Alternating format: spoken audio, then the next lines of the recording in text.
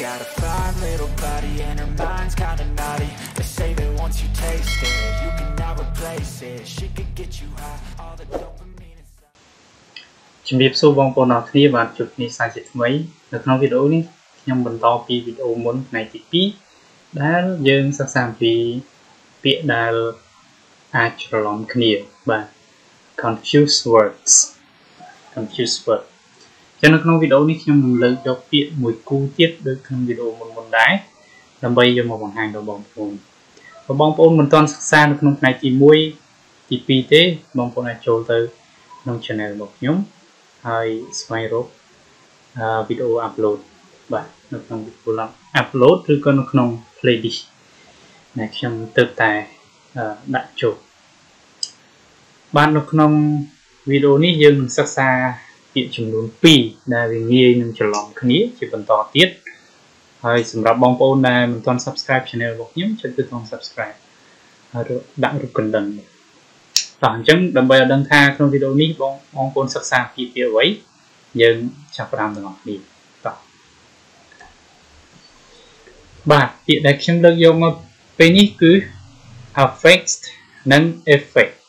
បាទ affect effect បាទអញ្ចឹងបងប្អូនមើលពាក្យទាំងពីរនេះគឺខុសគ្នា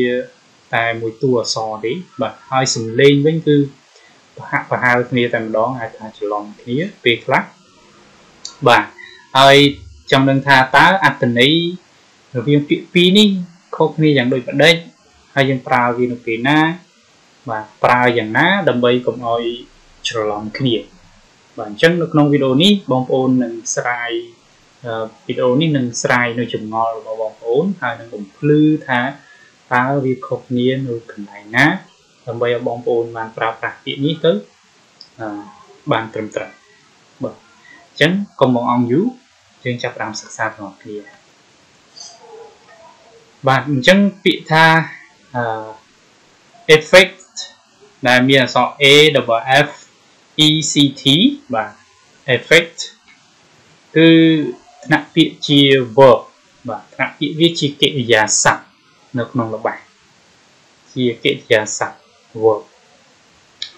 ដែលយើងប្រែជាភាសាខ្មែរថាជះឥទ្ធិពលឬក៏ធ្វើឲ្យមានការផ្លាស់ប្ដូរបាទជះឥទ្ធិពលឬក៏ធ្វើឲ្យមានការផ្លាស់ប្ដូរយ៉ាង affect អញ្ចឹងវាដើរតួជាកិរិយាសព្ទនៅក្នុងល្បះជា verb ហើយចំណែកឯ effect វិញបាទ effect គឺវាដើរតួជា noun ដើរតួជានាមបាទនៅក្នុងល្បះវាជានាមដែលយើងប្រែថាជាលទ្ធផលឬក៏អធិ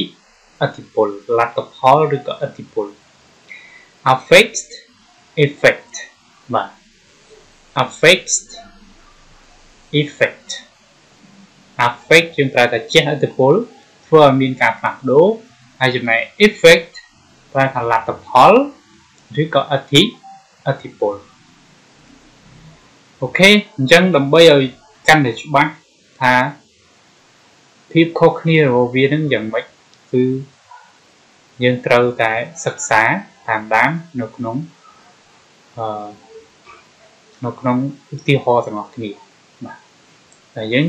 អញ្ចឹងយើងចាប់ដើមមើលតែម្ដងឧទាហរណ៍ the recession, the recession affected the buying power of the dollar. The recession affected the buying power of the dollar. បាទអញ្ចឹងយើងប្រែថាម៉េចវិបត្តិសេដ្ឋកិច្ច recession នេះយើងប្រែថាវិបត្តិសេដ្ឋកិច្ចវិបត្តិសេដ្ឋកិច្ចបានជះឥទ្ធិពលបាទ affected បានជះឥទ្ធិពលដល់ buying power buying power យើងប្រែថាកម្លាំងនៃការទិញកម្លាំងនៃការទិញជាលុយដុល្លារបាទមានថាកម្លាំងនៃការទិញជាលុយដុល្លារមានការធ្លាក់ចុះដោយសារវិបត្តិសេដ្ឋសេដ្ឋកិច្ចបាទអញ្ចឹងកន្លែងនេះវាដើរតួជាជា verb ជាកិរិយាសព្ទនៅក្នុងល្បះដែលប្រធានគឺ recession recession affected the buying power of the dollar បាទអញ្ចឹងយើងក៏លេខទៅមើលឧទាហរណ៍ទី2បាទឧទាហរណ៍ទី2 Ukraine Ukraine Ukraine war Ukraine war has badly affected the global economy Ukraine war has badly affected the global economy បាទយើងយើងប្រើថាសង្គ្រាមនៅអ៊ុយក្រែនបាទ war នេះសង្គ្រាមសង្គ្រាមនៅអ៊ុយក្រែនបានធ្វើឲ្យមានការផ្លាស់ប្ដូរឬក៏ជះឥទ្ធិពលអាក្រក់បាទ badly affected ជះឥទ្ធិពលអាក្រក់ទៅដល់ the global economy ជះឥទ្ធិពលអាក្រក់ទៅដល់សេដ្ឋកិច្ចសកលបាទ global economy នេះប្រែថាសេដ្ឋកិច្ចសកលលោក global សកលលោកហើយចំណែកឯ economy យើងប្រែថាសេដ្ឋកិច្ចបាទអញ្ចឹងសង្គ្រាមនៅអ៊ុយក្រែនបានជះឥទ្ធិពលអាក្រក់យ៉ាងអាក្រក់ទៅដល់សេដ្ឋកិច្ចពិភពលោកបាទអញ្ចឹងនៅចុងក្រោយមានការបង្ហាញបញ្ជាក់បន្ថែមបន្តិចថា the word affect is also used as a noun in psychology to mean feeling or emotion but this use is rare បាទអញ្ចឹងគេថាពាក្យ affect នេះគឺអាចប្រើជានាមបានផងដែរបាទជានាមបានផងដែរនៅក្នុងចិត្តវិទ្យាបាទមុខវិជ្ជាចិត្តវិទ្យាដើម្បីមានអត្ថន័យថាអារម្មណ៍បាទ feeling or emotion ដើម្បីប្រើថាអារម្មណ៍ but this use is rare ប៉ុន្តែការប្រើនេះគឺកំកម្រ effect effect ជា noun បាទ effect យើងទៅលេខមើល effect ម្ដងដែលជា noun តែថាលទ្ធផលឬក៏អធិអធិពល music can have a healing effect music can have a feeling sorry a healing effect ថាតន្ត្រីអាចមានបាទអាចមានឥទ្ធិពលបែបព្យាបាល healing នឹងយើងប្រើថាព្យាបាលឬក៏ធ្វើឲ្យមានអារម្មណ៍ល្អបាទមានមានសេចក្តីសុខបាទ healing តែយើងកំពុងតែមានអារម្មណ៍ធុញថប់អញ្ចឹងយើងស្ដាប់តន្ត្រីទៅមានអារម្មណ៍ថាលំហែ បាទបធូរបថយអារម្មណ៍បាទ healing effect ហើយអត្តពលឬក៏លទ្ធផលដែលដែលជួយសម្រួលបាទជួយព្យាបាលបាទអារម្មណ៍របស់យើងបាទ music can have a healing effect my teacher's advice has a great effect on my study បាទអឺ ដំបូន្មានរបស់គ្រូខ្ញុំ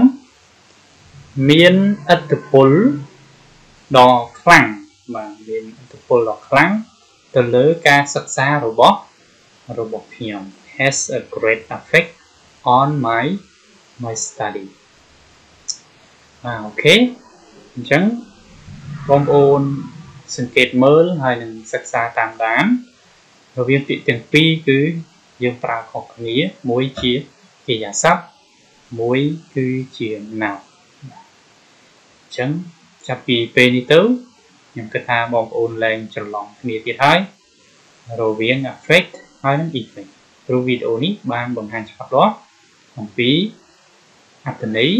ហើយនឹងថ្នាក់ពាក្យរបស់វា ការប្រើនៅក្នុងល្បះបាទបាទអរគុណច្រើនបងប្អូនខ្ញុំសូមបញ្ចប់វីដេអូត្រឹមប៉ុណ្ណេះហើយនឹងយើងនឹងបន្តទៅ វីដេអូទី4ដែលខ្ញុំលើកអំពីពាក្យដែលអឺអាចនឹងច្រឡំគ្នាមួយគូទៀតយកមកដល់បង្ហាញដល់បងប្អូនបាទហើយជួបគ្នានៅក្នុងវីដេអូបន្ទាប់គឺវីដេអូផ្នែកទី4បើបងប្អូនមិនទាន់ Subscribe ចុចប៊ូតុង Subscribe ហើយដាក់រូបកណ្ដឹងហើយ share like វីដេអូនេះទៅចែករំលែកទៅកាន់បងប្អូនមិត្តភ័ក្តិហើយបើបងប្អូនមានអ្វីបន្ថែមបងប្អូនអាចអឺបងប្អូនអាចអឺ comment បាទអរគុណច្រើនសូមជម្រាបលាជួបគ្នានៅក្នុងវីដេអូបន្ត